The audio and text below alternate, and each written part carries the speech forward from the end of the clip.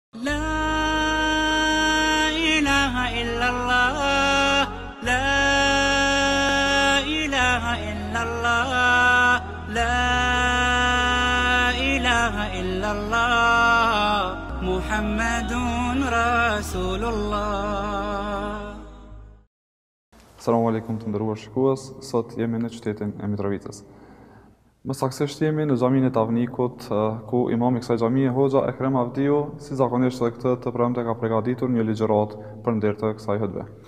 Tema për të cilën do të flasë ai i përket ndërgjegjes, mirëpo se çka do të flasë ai më konkretisht, ne së bashku me ju do ta ndjekim atë ku do të takohemi sërish me Hoxhën si dhe xhematin për të marrë mendimet e tyre. Na ndiqni.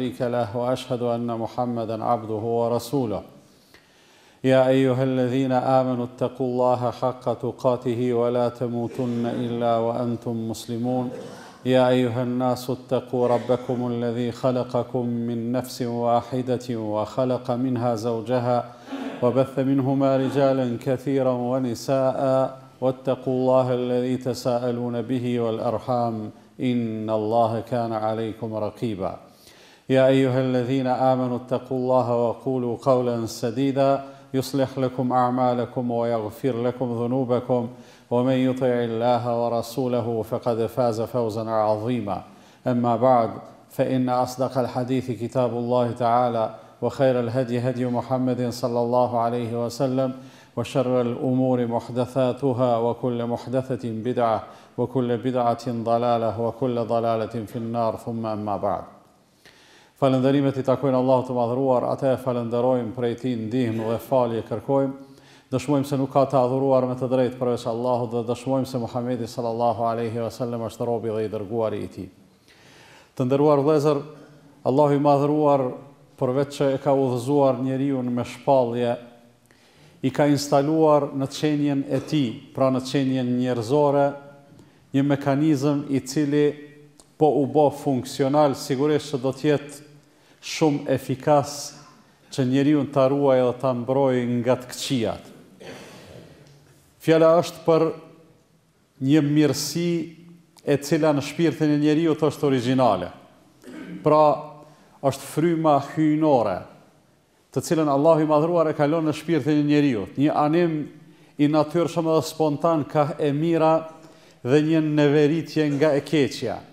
Ajo në gjuhën bashkëkohore quhet ndërgjegje, ndërsa çdonjoni prej neve e përjeton ate si diçka të natyrshme nganjëherë edhe nuk ia vnon mendjen, mirëpo i duket se vetvetiu po anon kah e mira dhe po ik kah e keqja. Kjo ndërgjegje Sa ma shumë që të jetë funksionale, aq më e dobishme dhe efikase bëhet për njeriun. Edhe e kundërta, në momentin kur ajo nuk është funksionale, atëherë s'ka dyshim se njeriu rrezikon që të lajthitet edhe të anojë kah e keqja, e në këtë rast nuk është se Nëse njeriu e ka ndërgjegjen funksionale ai bëhet melaqe e nëse nuk e ka bëhet djall po qëllimi është kah të anojë ndërgjegja e tij andej do të anojë edhe rezultati i tij përfundimtar edhe cilësia e veprave të tija na ka paralajmëruar i dërguari i Allahut Muhamedi sallallahu alejhi vesellem në një hadith interesant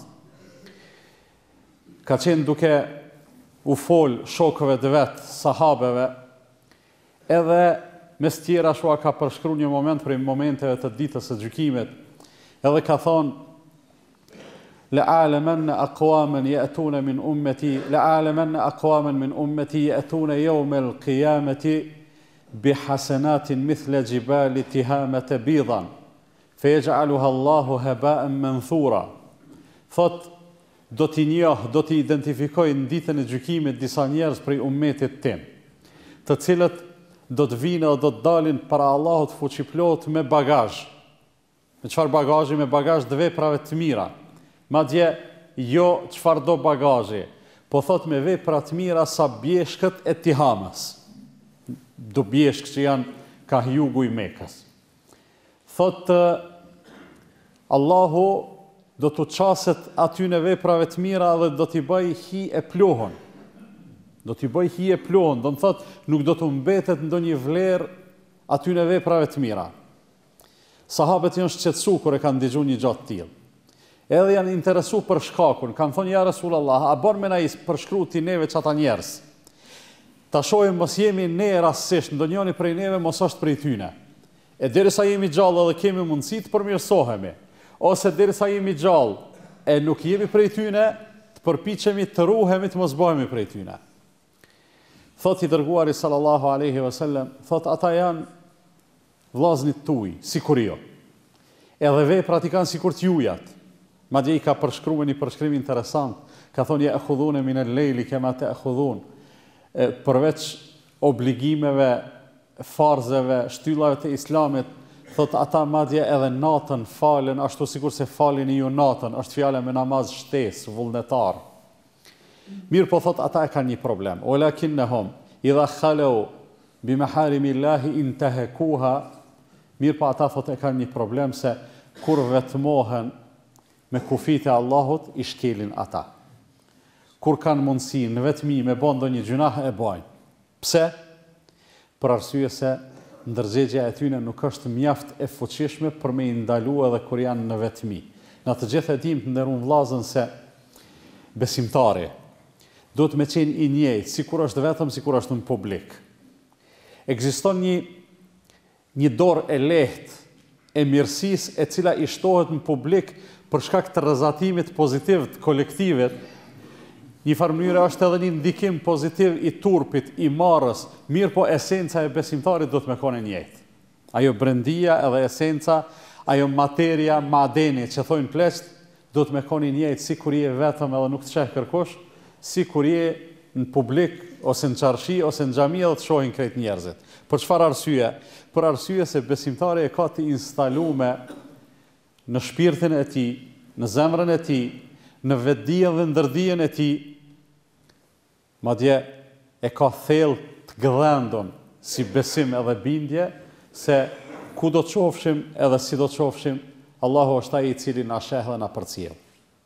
Dhe kur e ka parasysh njeriu mbikëqyrjen e vazhdueshme të Allahut Fuqiplotë, s'ka se si të mos bëhet i mirë. Pra po them, jo i përkrymë, i përkrymë nuk do të bëhet, mirëpo e mira do të dominojë. E mira ka me ia mujt të keqes dhe kjo është e rëndësishmja. Ndërgjegjja të cilën Allahu e ka lon në shpirtat tonë, është ajo e cila nuk na lën me anu ka e keqja dhe e mbrapshta. Është ajo e cila na shtyn neve në vazhdimësi që ta synojmë të mirën edhe të përpiqemi ta arrijmë atë. Dhe Kur e kemi parasysh një gjë të tillë, nuk kemi se si mos i falënderojmë, si mos e falënderojmë Allahun fuqiplotë për këtë mirësi të cilën na e ka dhan. Po, përtej kësaj, Allahu me shpallje, me Kur'an, me ajete të Kur'anit, në vazhdimësi e ka ushqy ndërgjegjen edhe e ka kultivu atë, i ka dhënë mundësi që ajo të rritet edhe të fuqizohet. Plot ajete të Kur'anit kemi të cilat na udhëzojnë kah fuqizimi i vetëdijes tonë për mbikëqyrjen e vazhdueshme të Allahut Fuqiplot. Madje jo vetëm kaq. Domethënë Allahu na ka tregu se Allahu na sheh, Allahu na përcjell, Allahu di çdo gjë për neve, atij nuk i ik edhe nuk i fshihet asnjë gjë. Edhe këto na e kemi bindje, nuk kemi si e diskutojmë. Përtej kësaj, Allahu prapë na ka paralajmëru dhe na ka tregu se përveç kësaj prapë ka dërgu edhe melekë, engjëj, të cilët na përcjellin, me autorizim prej Allahut Fuqiplotë edhe shënojnë me përpikmëri dhe besnikëri çdo gjë të cilën ne e bëjmë. Wa inna alejkum lahafidhin kiramen katibine ya'lamune ma tef'alun. Mbi ju janë të autorizum disa, disa ruajtës, disa roje, kiramen katibinë, ata janë shumë dinjitozë edhe shkrujnë, ja'lemune ma tefa'alunë, nuk shkrujnë çka do, po shkrujnë ato që e dinë, e ata dinë krejt çka punoni ju. Kështu po na paralajmëron Allahu Fuqiplotë. Domethënë i ka dërgu përcjellësit, por neve na ka tregu që qe unë i kom dërgu disa përcjellës besnikë, të cilët nuk shpifin, Nuk shpifin, nuk rrejnë, e shkrujnë me besnikëri të skajshme ato çka ju veproni, flisni e kështu me radhë. Dhe njeriu kur e ka parasysh një gjë të tillë, nuk ka se si të mos bëhet i kujdesshëm. Ai kujdes buron nga brendia e tij që quhet ndërgjegje. Pastaj Allahu i Madhëruar na ka paralajmëruar se në Ditën e Gjykimit, krejt ata regjistra, gjithë ato regjistrime, ato shkrime që janë ba për veprat tona, do të shndërrohen në dosje të cilat prapë do të na dorëzohen neve, dhe simbas epilogut të saj do të jetë edhe epilogu i gjendjes sonë. Thotë Allahu i Madhëruar në Kur'an wa kulle insanin elzemnahu tairahu fi unuqih dhe secilit njeri kena me ia mvesh e listën ose dosjen ose regjistrin e veprave të mira e cila do t'i vijë fluturimthi edhe do t'i ngjitet në qafë, domethënë nuk nuk ka se si e largon nuk ka se si e largon njeriu, pra në një farë mënyre bëhet kryekëput i mvarun prej regjistrit të veprave të veta. Allahu gjithashtu na ka treguar, Men amile salihan felinefsihi wa men esae fe alejha, Ai i cili ban vepra të mira e ka për vete, pro, por edhe ai i cili bën vepra të këqija, edhe ai është duke ia bo vetes dhe askujt tjetër. Të gjitha këto edhe shumë, edhe shumë thanie, shumë fjalë tjera të Allahut Fuqiplotë, na bëjnë të bëhemi të kujdesshëm. Edhe insistojnë që qajo ndërgjegje të cilën e kemi të mbetet në neve e gjallë. E gjallë, domethonë të jetë në funksion. Se ajo kur funksionon, ajo veç, veç produkte pozitive sjell. Ndërgjegja kur, kur funksionon te njeriu, ajo veç mirë ban. Për këtë arsye nuk ka ndërgjegje të mirë edhe të keqe, po ka ndërgjegje të gjallë edhe të vdekun. Ose ndërgjegje funksionale dhe jo funksionale, ja punon ja s'punon, ama si të punojë ajo ka me punu mirë, edhe ka me prodhu, ka me prodhu individë pozitivë, e pastaj ata individët pozitivë edhe të mirë e përbojnë shoqërinë, shoqërinë e mirë edhe të bekuar. Më lejoni të nderun vllazën t'i përmend disa shembuj Veç për me e pa se sa interesant është ndërgjegjja, kur ajo funksionon, nganjëherë bohet shumë ma e fuqishme edhe ma efikase se sa edhe vetë ligji, që sot njerëzit duke e shpërfillë ndërgjegjen ose duke mos investu në te, E kanë bo e frikën e vetme ose kujdesin e vetëm prej ligjit. Nëse ligji sanksionon, edhe nëse më sheh e atëherë unë do të kem kujdes, por nëse sanksionon e nuk më sheh, unë prapë nuk do të jem sa duhet i i ndërgjegjshëm edhe i përgjegjshëm. Ndërsa Allahu i Madhëruar i ka eduku robërit e vet në këtë mënyrë. Transmetohet se kanë ardhë dy persona te pejgamberi sallallahu alaihi wasallam edhe e kanë pas një kontest pronësor. Për një tokë dikun, njoni ka thonë, Ja Resul Allah, është toka jem, ma ka lonë mu baba, ai tjetri ka thonë, jo, është e jemja, se baba jem e ka ble pej babës tij, e kështu me radhë, edhe në një farë mënyre, të dytë janë, kanë shprehë mospajtimet e veta, para Pejgamberit, sallallahu alejhi ve sellem, por asnjoni s'kanë pru argumente të forta. Dhe i Dërguari, sallallahu alejhi ve sellem, para se me gjyku, a duhet me gjyku, se njerëzit kanë ardhë me u gjyku, ja u ka tërheqë vërejtjen, Për një gja të rëndësishme edhe në këtë formë e ka ngacmu ndërgjegjen e çdonjonit prej tyne, e ka shti në funksion se e ka pa që nganjëherë lakmia e vë e vë në gjumë ndërgjegjen. Lakmia e madhe nuk e lën njeriun me kon njeri. Sikurse kanë thonë pleqt kojta e korit burrin. Është shumë e saktë kjo. Dhe ka fillu i dërguari sallallahu alaihi wasallam me ju fol atyne njerëzve. Ju ka thonë kështu. Ju vini Ju vini me u gjyku te unë. Ndërsa unë jam njeri sikur ju. Di vetëm ato çka kam mundësi me e mësu, çka shoh me sy, çka dëgjoj me vesh. Do thonë çka dëgjoj prej juve, mu më duket se qajo qenka situata. Dhe në rastin kur ju dy vit, dy vetë vini, dy persona vini me pikëpamje të kundërta. Njoni munet me e pas mirë, munet me e pas mirë, amo nuk din me u shpreh. Ky tjetri e ka keq. Nuk është toka e tij, amo ky din me u shpreh edhe ta mush menën. Thotë dhe nëse vjen ndonjani me aftësi të shprehjes edhe ma mbush mendjen, e unë gjykoj në favorin e tij. Thotë le ta dinë se qat copë tokë që ja kom dhonë ja kom dhonë një copë të xhehenemit. Në një farë mënyre pejgamberi sallallahu alejhi wasallam ka dashtë me me jau kujtu se Mundeni me e mashtru edhe gjykatësin, duke qenë se gjykatësi është njeri. Por ekziston një gjykatë edhe një gjykatës n'ditën e gjykimit i cili nuk mashtrohet se i di të gjitha. Andaj, mos e keqpërdorni këtë njerëzillëkun e gjykatësit n'këtë botë, se do të përballeni me pasojat e gjykatës n'botën tjetër që atje nuk do të ketë më mashtrime. Andaj thotë ta keni parasysh se nëse ndonjoni ma mbush mu mendjen gabimisht, edhe unë e gjykoj, unë prapë do të gjykoj për ato çka kom ni edhe çka kom ditë, Zotit muj me thonë o Zot, çka s'dita unë, s'dita ma shumë, amo ai që e ka ndërmarrë këtë veprim le ta di se e ka marrë një copë xhehenem. A e dini çka ka ndodh nderum vllazën? Në atë moment, Ju ka thonë Pejgamberi sallallahu alejhi ve sellem, Hajdeni bujrum, hajde kallxoni tash hesapin, ata të dytë kanë hjek dorë. Secili ka thonë, Ja Resullallah, s'po më vyn ajo tokë. Ai tjetri ka thonë, S'po më vyn ajo tokë. Për çfarë arsye?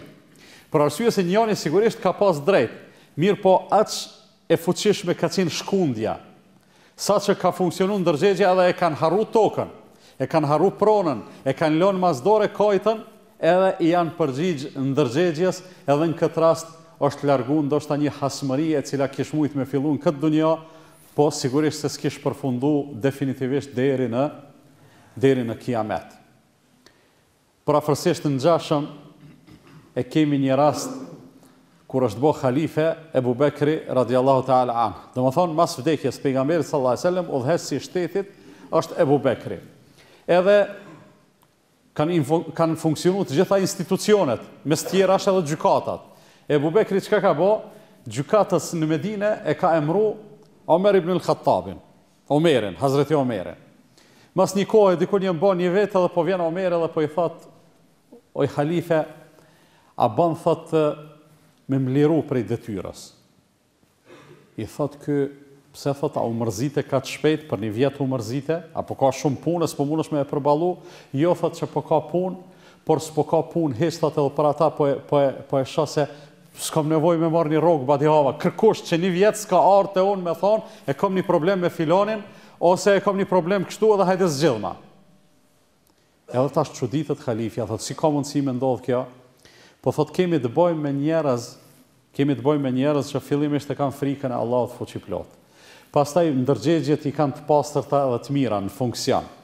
Pastaj këta ia dojnë njani tjetrit ato që ia dëshirojnë vetvetes. Kur ndonjani është i untë këta i çojnë ushqim. Kur ka nevojë për tesha këta i çojnë tesha, kur është i varfën këta i jepin pare.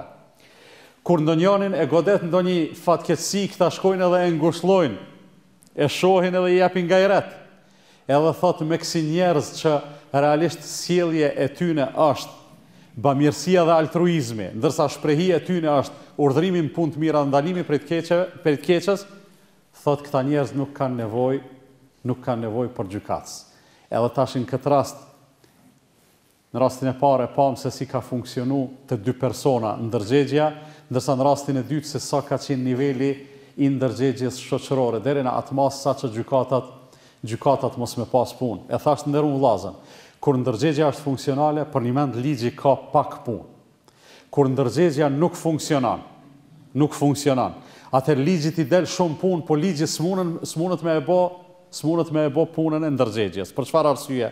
Për arsye se ndërgjegja parandalon prej të keqes, ndërsa ligji shëron damet edhe pasojat, mundohet me i pakësu, me i pakësu ato. Por ndërgjegja njerëzore munet me u bo aq funksionale edhe aq e mirë, saqë përnjëmend njeriu edhe mundësitë e ndryshme të përfitimeve të kësaj bote, me i shëndrru në bamirësi edhe në humanizëm, edhe me i kthy në mundësi të përfitimit në botën tjetër, sikurse ka ndodhë një vit me Uthman ibn Affanin radijallahu anhu. Uthman ibn Affani, Hazreti Osmani, ka qenë njëri prej sahabeve të njoftun, njëri prej të përgëzumëve me xhennet, ka qenë tregtar i madh edhe i zoti. Edhe një herë ai e ka dërgu një. karvan të vetin për tregti në Sham. Atëherë udhëtimet kanë zgjatë me muj, një muj tu shku, një muj tu ardhë, ndoshta një muj tu këqyr atje me ble mall e kështu me radhë, me një fjalë, është nis karavani, ndërkohë ka ndodhë një krizë ekonomike në Medine. Skamje, nuk ka artikuj, nuk ka ushqim, nuk ka të mjaftueshme është fjala, edhe bash në qatë kohë po kthehet karavani i Osmanit, me një mijë deve. Me i shëndrru në fjalët tona një mijë deve, ndoshta zgaboj me thonë sa njëqind kamiona mall. Edhe sapo ka mrri ai karavan me mall të tregtisë, në një farë mënyre Osmani u kon tregtar i shumicës, kanë nxitu ata tregtarët e pakicës me i bo oferta, shitnae tash neve mallin se ky mall shkon flakë se ka ushqim, ka gjana elementare, ka veshmbathje, Shkojnë, njerëzit kanë nevojë për to. Edhe i kanë bo ofertë menjëherë, në çast, sa ka mrri, i kanë thonë, krejt çka ke investu ti, na po t'japim dyfishin, veç na e jep mallin. Osmani, radijallahu anh, e sheh edhe insistimin e tyne, po e ka pas parasysh edhe gjendjen e shoqërisë. Ju thotë, më vjen keq, po më duhet me e refuzu ofertën e juj, se kam ofertë ma të leverdishme. Tash mentaliteti tregtar, i kanë bo ofertën tjetër, i kanë thonë s'po të ofrojmë dyfishin, po po të ofrojmë pesëfishin. Çdo investim që e ke bo, shumëzo me pesë qaq pare po të jepim na, veç na e jep mallin. Thotë më vjen keq, po dikush më ka ofru dhjetëfishin. Edhe tash ata ndalen këqyrin ndërmjet vete, e din që i kanë bo muhabetet tu e prit atë mall tu ardhë, Kanë thonë, Po s'ka tjerë tregtarë në Medine, kush ta ka ofru dhjetëfishin? Thotë, Allahu i Madhëruar ma ka ofru dhjetëfishin. Allahu më ka thonë, një punë që ta bojsh, dhjetëfish ka me ta shpërbly, thotë, krejt ky mall nuk është në shitje, është sadaka, u qoftë falë fukarave të Medinës. Edhe e ka dhonë atë mall krejt çka ka pas, domethënë, në një farë mënyre me atë gjest çka ka bo, e ka zbut një krizë ekonomike për shoqërinë, E ka lon anash një përfitim material të kësaj bote, mirëpo vetës vet ia ka siguru një përfitim shumë të madh të botës tjetër, e na sot mahnitemi edhe habitemi edhe ngazllehemi kur e bojmë këtë muhabet edhe kur e dëgjojmë këtë ngjarje. Edhe themi ku me pas qesi njerëz. Domethonë kjo është kur ndërgjegja funksionon ashtu si duhet, efektet e saj janë të shumta, janë të pamohueshme, e inshallah Allahun e lusim që të na dhurojë ndërgjegje të pastërt edhe funksionale, që të na udhëzojë kah e mira dhe kah e mbara, të na pengojë nga e keqja, e them këtë që dëgjuat edhe kërkoj falje prej Allahut për vete edhe për ju, andaj dhe ju kërkoni falje se Allah është Falës dhe Mëshirues.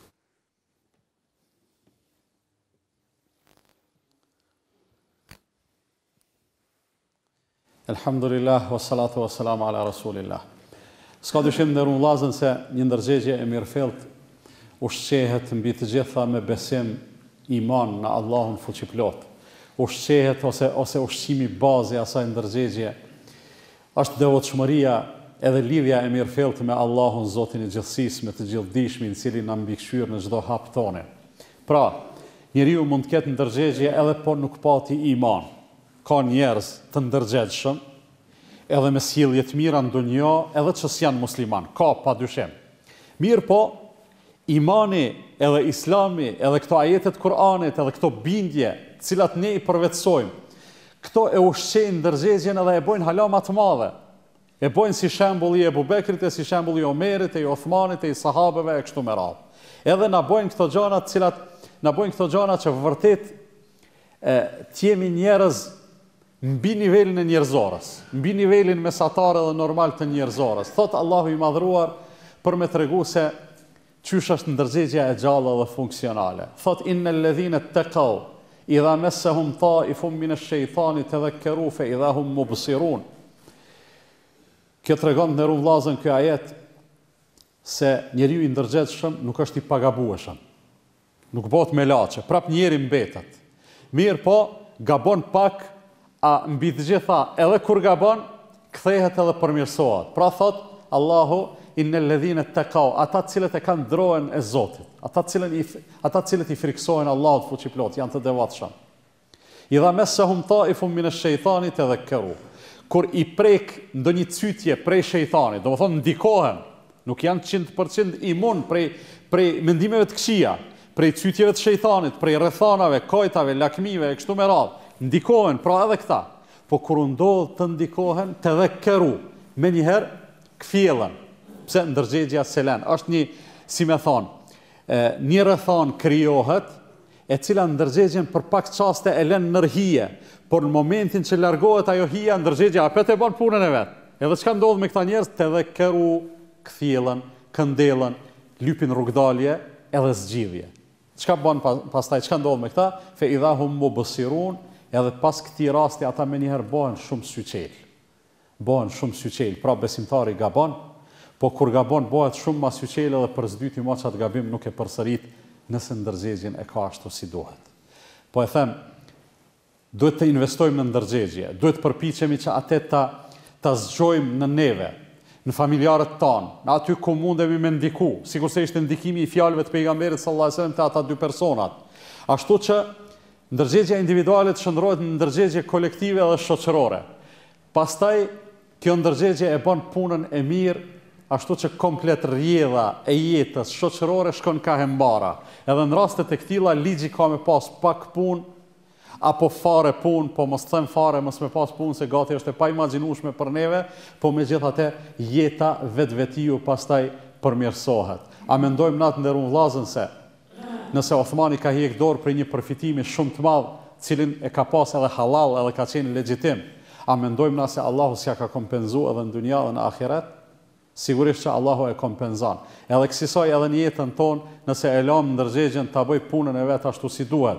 Duke e ushqy na edhe duke e ndihmu me mësime të Kur'anit e me mësime të Pejgamberit sallallahu alejhi ve sellem, atëherë s'ka dyshim se edhe jeta jonë në përgjithësi, në të gjitha fushat edhe aspektet,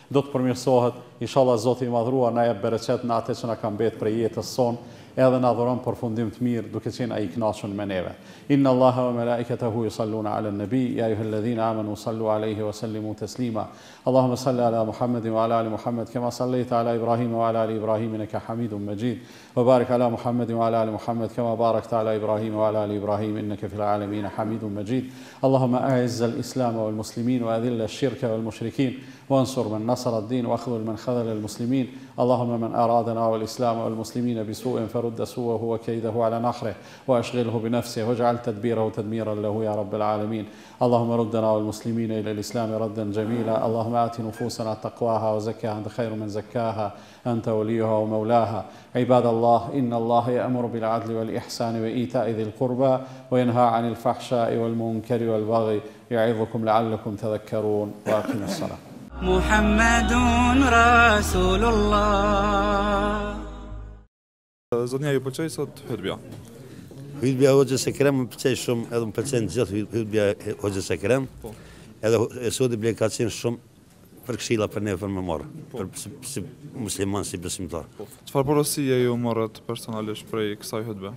Prej kësaj hutbe mora porosi që Me shku drejt rrugës Zotit mos me shkel ligjin me pas vetëdijen e shnosh me kon ça të bash me kon i ndërgjegjshëm po Po ashtu hoxha e ceki edhe punën e bamirësisë, sadakas, a menoni që në këtë kohë t'dimrit na po i nimojmë sado pak njerëzve në nevojë? Po, Apo duhet me punu ma shumë n'këtë aspekt? Ma shumë duhet me punu, po sa i përket anës tonë, domethonë, po, po nimojnë sa po mundën këta vllaznit tonë musliman, po.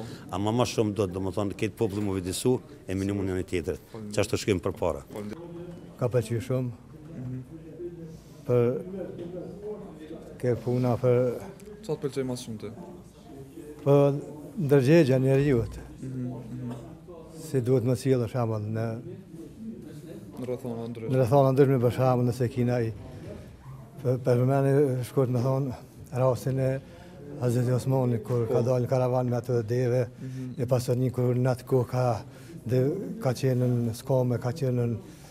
Këto kriza ekonomike se edhe të gjitha i kanë kushtu, i kanë afru kushte të mira për, për interes për tregti, ka thonë kam një shpërblim më të madh, domethonë, ka qenë qëllimi te Allahu, shpërblim dhjetë herë, një të mirë dhjetëfish e pagun, kështu që i ka shpërnda krejt falas Allah, dhe ja ka shpërblim e sigurisht me me të mira në atë botë. Po të shumë. Pra do me thonë, na kena shembuj Shumë. Po kena shumë shumë. Po bazu, e apo punojmë na sa duhet.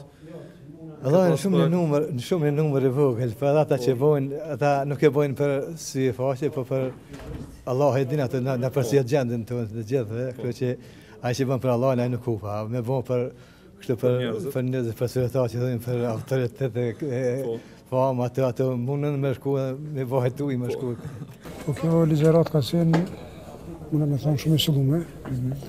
Kjo ligjëratë ka qenë që me u ngrit pak vetëdija qytetare. Po. Që se si në fazë ndërgjegjen e vet, mhm. domethënë që me atë ndërgjegje që e ka mrena, po. me u mundu me përmirësu, edhe me qenë sa ma realist. Po, a mendon që ne tregohemi të ndërgjegjshëm sa duhet në situata të caktuara? Po dmth varet prej individit. Po. Një të kështë e kohës që sa e dëgjon atë ndërgjegjen e vet. Po. Po mirë është me, me pas ndërgjegjen sa ma të pastër. Së parë, në çdo veprim që të bësh, ma së pari me mendu te Allahu, mhm. me pas frikën e tij, se nëse na frikohemi prej njerëzve, domethonë nuk i vlen. Po. Domethonë, ma së pari me u friku prej Allahut, e tani me vepru. Po, e qartë. Hoxha po ashtu e cek edhe në aspektin e bamirësisë, përderisa jemi në këtë kohë të, të vështirë për njerëzit në nevojë. A mendoni se ne po bëjmë sado pak për të ndihmuar atyre, apo nevoja është shumë e madhe?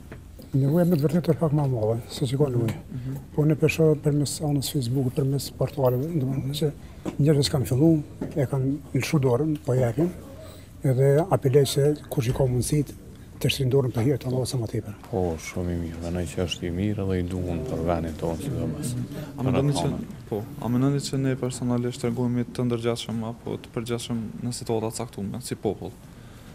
Ai s'po di tash varet prej rrethanave, po në përgjithësi njihem si popull temperament. Mhm, po. Tash varet edhe pak prej individit. Po. Po ashtu për aspektin e bamirësisë që ceku hoxha, tash di që jemi në kohën e dimrit edhe temperaturat janë shumë të ftohta, kushtet janë të vështira për njerëz në nevojë. A mendoni që po punohet në atë aspekt për të ndihmuar atyre apo nevoja është shumë e madhe krahas me atë që punojmë ne? Po nuk e di sa është tu punu, s'kam informata, po nevoja është shumë e madhe, pa dyshim edhe ka shpenzime të pavend, kish me qenë ma mirë me po. pas organizime për po. njerëz në nevojë që është numër i madhë mendoj. Po. Hoxhë, fillimisht pse këtë temë? Po, ne në vazhdimësi po përpichemi që nëpërmjet fjalës së thënë në minber, nëpërmjet mediumit të, të hutbes së xhumasë, T'i drejtohemi opinionit me udhëzime, me këshilla, me gjithnjë e kemi një synim kryesor, ajo është si të arrijmë të përmirësohemi sa më tepër. Dhe mendoj se investimi në funksionalitetin e ndërgjegjes e bën atë më të fuqishme, Parandalimin nga e keqja e bën më efikas, promovimin e vlerave gjithashtu e bën më të pranishëm në jetën tonë dhe pse të shërojmë kur kemi mundësi të ndërtojmë, të rregullojmë, të bëjmë mirë ashtu si duhet. Po. Hoxhë po ashtu ju e cekët edhe një shembull, domethënë një hadith nga Muhamedi alejhi selam që njeriu mëkaton në vetmi, ai që i shkatërron veprat e mira, do të thonë ditën e gjykimit është ai që shkel kufijtë në vetmi. Për cilat kufi është fjala, hoxha është për të bërë kufit, ndërsa për gjynahet e mdhaja, apo për çfarëdo lloj gjynahu? Po, jo, sigurisht, thëniet e këtilla dhe paralajmërimet e këtilla më tepër janë me karakter edukativ, mhm. se sa me karakter të them frikësues deri në atë masë sa me ja humb shpresat njerëzve. Po. Qëllimi është që ne po arritëm ta ta ta ngrisim vetëdijen tonë edhe ta ta mbajmë në nivelin e duhur në çdo çast. Se vërtet kudo që të jemi Allahu na sheh. Atëherë shikimet e njerëzve do të bëhen për neve të parëndësishme. Jo se ato nuk kanë kanë rëndësi, ato kanë rëndësi, por vetëdija për mbikëqyrjen e Allahut pastaj e luan rolin e vet mrekullueshëm edhe ne para njerëzve do detyrimisht do të bëhemi të mirë, po do të jemi të mirë esencialisht, nuk do të jemi të mirë fallso. Po, po ashtu e cekët edhe lakminë do thotë si si ndonjë ndoshta diçka që e cenon ndërgjegjen tonë. A ka dhe diçka tjetër ndoshta që e cenon apo që dobëson më shumë ti ndërgjegjen? Po, unë kisha thonë që më tepër mbasi e, e, e lidhe pyetjen me lakminë, po. domethënë animet, pasionet, ka epshi, ka të them përfitimi ose kënaqësia e çastit, edhe pse absolutisht edhe kjo tjetra është kënaqësi, po ja që cytjet e shejtanit nganjëherë janë të fuqishme tek njeriu dhe e bëjnë atë të pa të pafuqishëm për t'u rezistuar atyre atyre tërheqjeve ka e mbrapshta. Kështu që lakmia në të gjitha format e saj, po gjithashtu edhe shkujdesja. Po. Unë mendoj se shkujdesja për atë që që është esenciale në këtë temë, pra mbikëqyrja e po. Allahut. Shkujdesja prej kësaj e bën ndoshta ndërgjegjen që për çaste të caktuara të mbetet nën hije, Edhe të mos funksionojë si duhet, mirëpo ato hije janë janë kalimtare, sikur retë që i hasim në përditshmërinë tonë, të cilat era i lëviz, pastaj fryjnë do era të mbara dhe vetëdija prapë del del në shesh. Po, hoxhë, pra për fund, si në çdo aspekt tjetër edhe këtë në këtë duhet të ndikojë padyshim shoqërimi se me kë ne shoqërohemi apo jo. Po s'ka dyshim, njeriu në një farë mënyre, sikur se kanë thonë rrushi duke e pa rrushin piqet, edhe njeriu po. përfiton vetvetiu, në shumë në shumë raste edhe pa e vrejtë, përfiton prej sjelljeve, qëndrimeve e, të atyre me të cilët shoqërohet. Për atë arsye, ndoshta do të ishte mesazhi më i mirë i, i kësaj teme çdo njëri prej neve ta zgjedh një njeri më të mirë se vetja për t'u shoqëruar me të. Sigurisht, Allahu ju shpërbleftë. Faleminderit.